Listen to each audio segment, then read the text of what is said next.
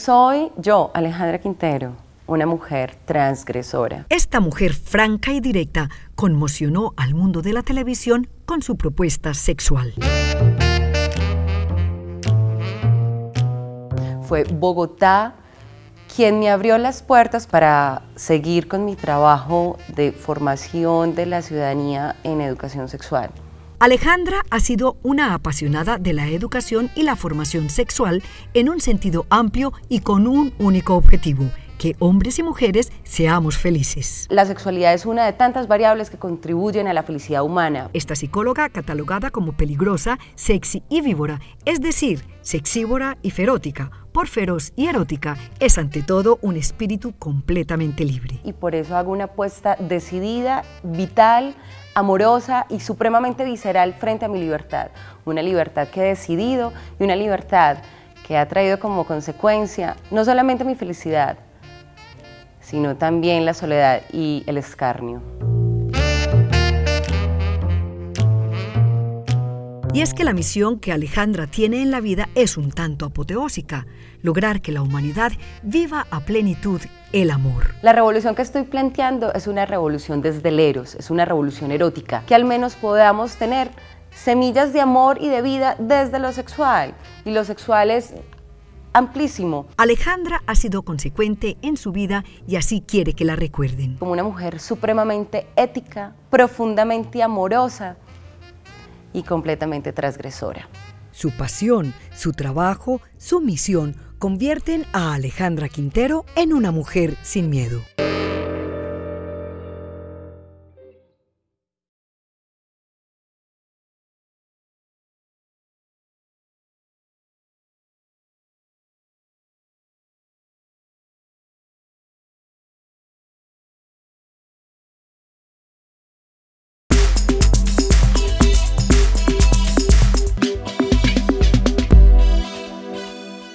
Doña Berta fue la primera mujer en llegar al Congreso de la República.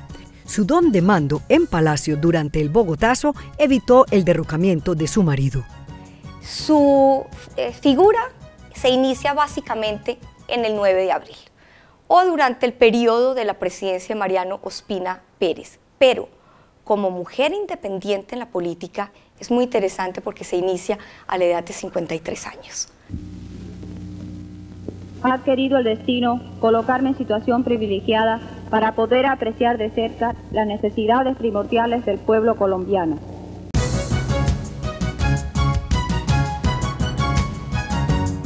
La sencillez de Doña Berta no solo se expresó en su lenguaje, asuntos ligeros no hicieron parte de su propósito político. La moda no le interesó, no le interesó físicamente, era una mujer natural, de pelo corto, eh, siempre pantalones. Y esas dos eh, líneas tenían algo más profundo. Los pantalones, porque era simbólico, los pantalones también los lleva una mujer. Y el tema del pelo corto, porque en esa época se decía que las mujeres eran de cabellos largos e ideas cortas. Sus columnas tituladas El Tábano, que aparecieron en el periódico El Siglo y La República, llegaron a ser muy célebres el tábano, de ahí el nombre el tábano, porque buscaba picarle la lengua a sus contrarios o picarle también la lengua a la opinión, o sea, generaba opinión a través de sus columnas. Por su autonomía, su forma de hacer política y transformar el papel femenino en su época, doña Berta Hernández es una mujer sin miedo.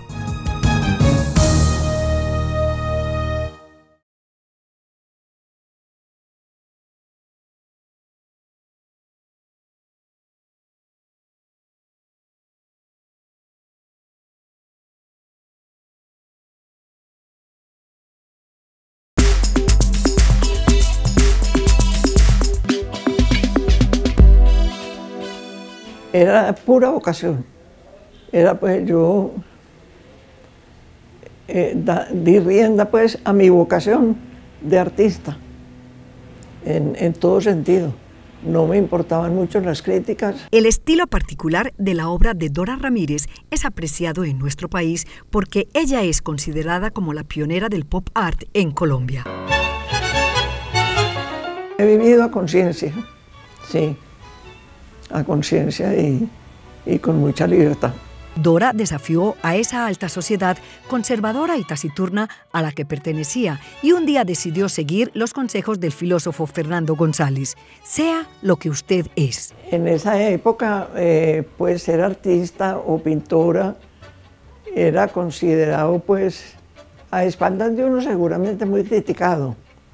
Pero en realidad yo nunca sentí como esa crítica. Si me decían loca, pues hasta me daba risa. Pero nunca fue como un obstáculo para mi vocación. Dora bien podría decir, confieso que he vivido, pues cumplió a cabalidad con todos los roles de su condición femenina. Suave en las maneras, fuerte en el contenido. Ella siempre hizo lo que quiso. Pero además nunca dejó de ser mamá, una mamá muy presente que nos estimulaba pero pues a morir. Hoy, artista al fin y al cabo, como ella misma se define, una nueva manifestación colma sus días. Se mueve como pez en el agua ante una pista de baile y una melodía de tango. Su legado artístico, su versatilidad y forma de vida hacen de Dora Ramírez una mujer sin miedo.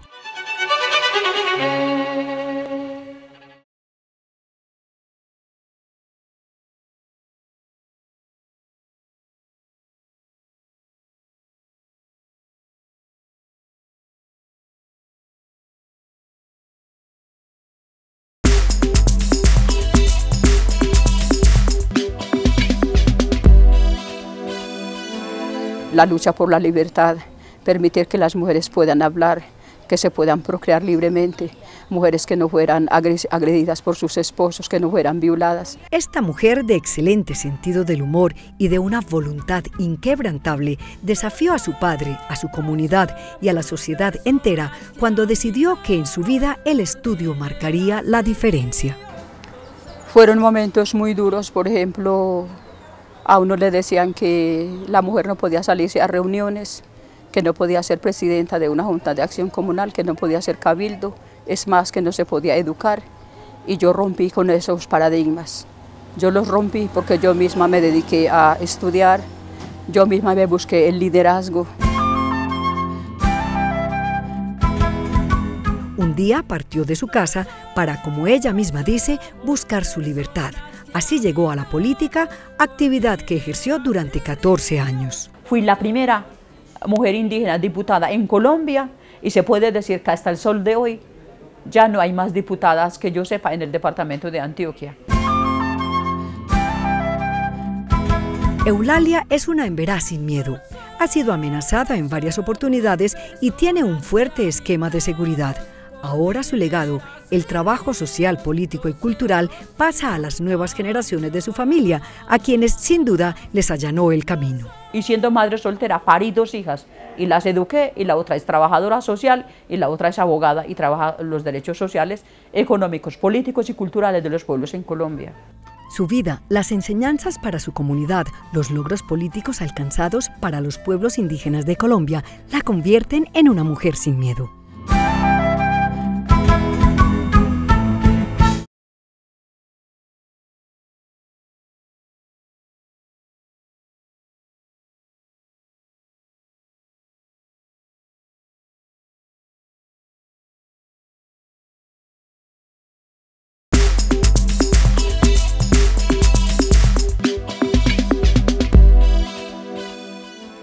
Cada huella en mi rostro, en mi cuerpo, en mi camino, significa todos los caminos que yo he recorrido. Mi cuerpo entero ha sido una geografía de amor, de lucha, de resistencia, de, dolores. Gloria Cuartas es una mujer sin miedo, primera alcaldesa de una zona en conflicto de Colombia defensora innata de los derechos humanos y luchadora incansable contra la inequidad. Gloria, de profunda sensibilidad social, ha señalado las injusticias sin ningún temor. Yo levanté mi voz y la levanté frente a los empresarios, los políticos, los grupos de poder, la insurgencia. Levanté mi voz ante un país que estuvo guardando silencio mientras se rompía el territorio en la región del Urabá. Gloria Cuartas no se rinde nunca y pese a las amenazas y a las puertas que se le han cerrado, la esperanza y el amor siguen presentes en su vida. Ante la pérdida de credibilidad, creo que hay otras opciones y yo tengo una. Esa opción, la que yo construí desde la infancia, que no la tenía consciente, era poder pertenecer a una comunidad. Y hemos construido un proyecto, una ecoaldea de mujeres. En esa ecoaldea de mujeres, yo creo que hemos llegado a compartir alegrías, afectos, tristezas, tenemos solidaridad, nos apoyamos. Por sus denuncias y su continuo activismo social por la equidad, Gloria Cuartas es una mujer sin miedo.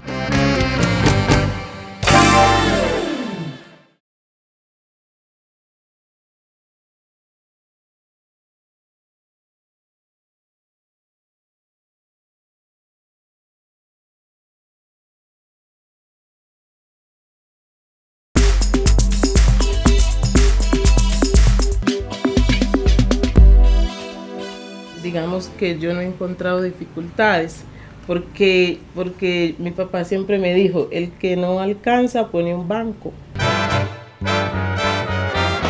Me gusta preparar mis clases, por eso me gusta estar preparada, para que mis estudiantes, mm, cuando me pregunten, yo les pueda responder con certeza.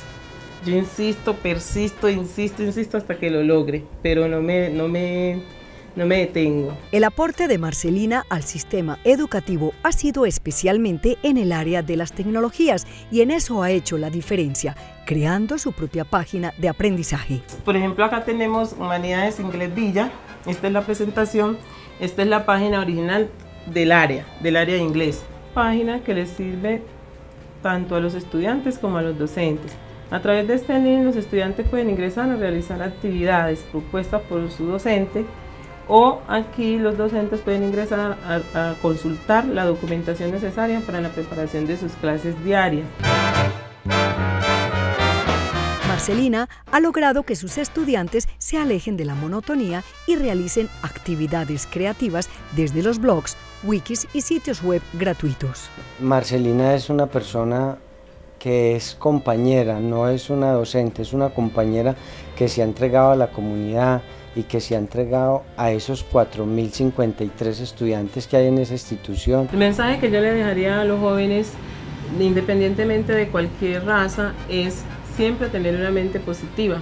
Igual como brilla la piel de ébano de esta maestra, brilla su mente. Su amor por la tecnología y la educación le han permitido alcanzar metas inimaginables porque siempre ha sido una mujer sin miedo.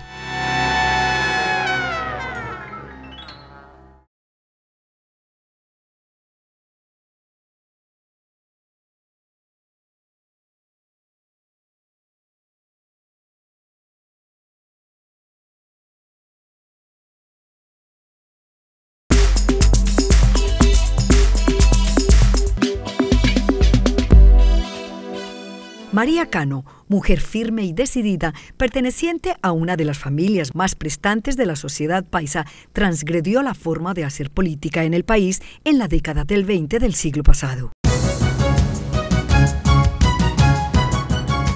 Pues yo de María Cano resaltaría primero su sensibilidad y su capacidad de desafiar un medio como el que ella desafió. Además de su espíritu fuerte, su carácter decidido, sus propuestas políticas innovadoras y revolucionarias para la época, lo que más llamaba la atención de María Cano era su fascinante oratoria. Manejaba frases breves, vibrantes, eh, ella enardecía a la gente. María Cano creció en el seno de una familia intelectual y libre pensadora. Fueron famosas en Medellín las tertulias que tenían lugar en su casa y que quiso extender a otros espacios. Cuando ella como periodista eh, del Correo Liberal empezó a hacer crónicas sobre Medellín y entró en contacto con los obreros, entonces ella creó lo que llamaban los lectores escucha que ella reunía en la Biblioteca Municipal de Medellín a los trabajadores a leer obras clásicas. María Cano murió a los 80 años sola en el olvido y sin ningún tipo de reconocimiento para la época, pese a que su oratoria en la plaza pública hizo historia entre los partidos políticos tradicionales. El viejo López Pumarejo por allá en el año 29, cuando él buscaba que el Partido Liberal recuperara el poder, en una carta que le dirigió, le dirigió al presidente de la Dirección Nacional Liberal, le decía que los liberales deberíamos, decía, buscar el ejemplo de María Cano. María Cano estremeció las estructuras sociales de la época, despertó las masas obreras, estudiantiles y campesinas y cambió las condiciones laborales del país. Todo esto la convierten en una mujer sin miedo.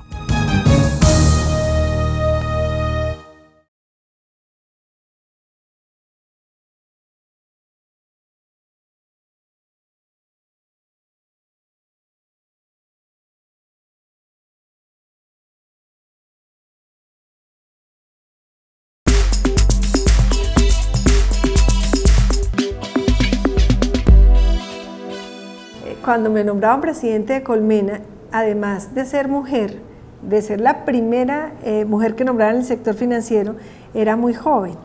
Yo tenía 26 años y no me conocía un miembro de la junta directiva. Y entonces dijo, ¿y esa niñita fue la que nombramos?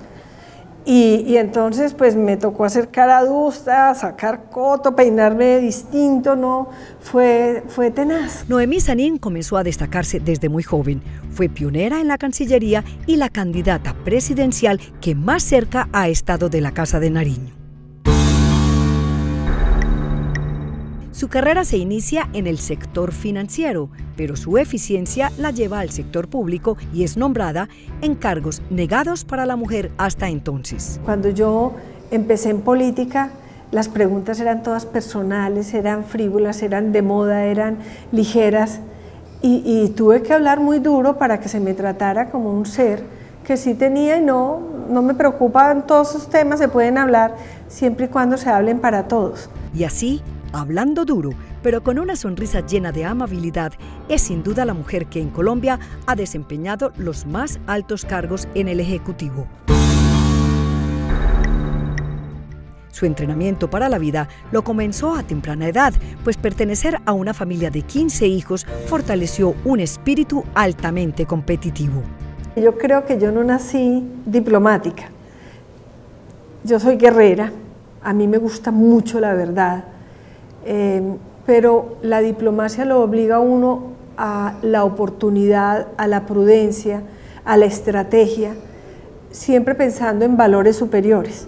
Noemí Sanín ha sido una abricaminos para cientos de mujeres, ha demostrado con creces su innegable potencial femenino. Por eso es toda una mujer sin miedo.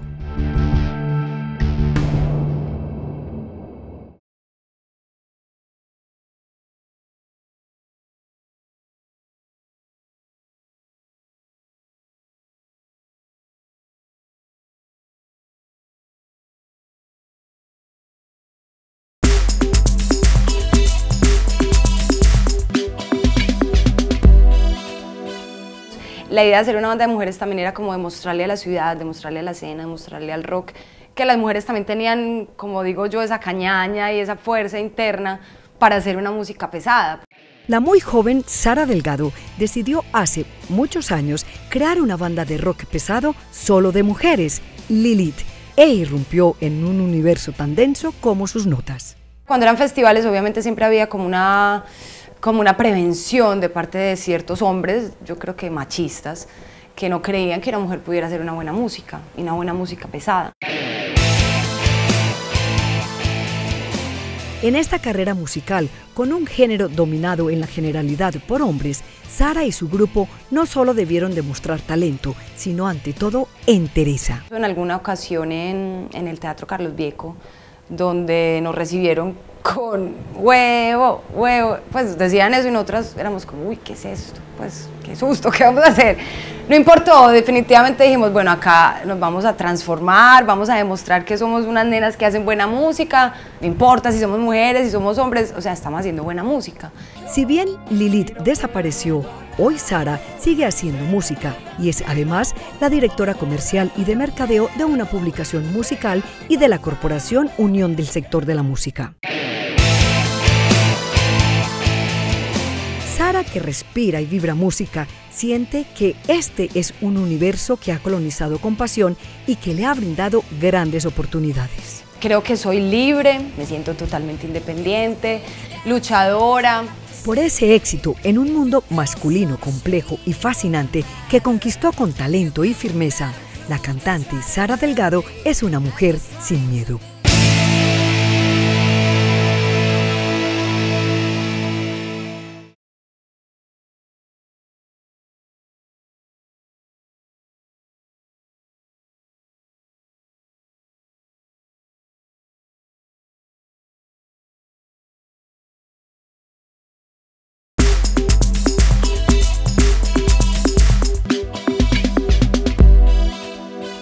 Para mí esto fue una, una dinámica muy especial porque sobre todo en aquella década de los 90 y de los 80 a mí me tocaba tomar mucho aire para poder salir con mis pintas a, exponerme a la opinión pública porque yo sabía que no siempre eh, los resultados iban a ser de, eh, bien, bacana, no, a mí me trataban de loca, bandera, payasa, loba, de lo que quiera, pero a mí todo eso me resbalaba.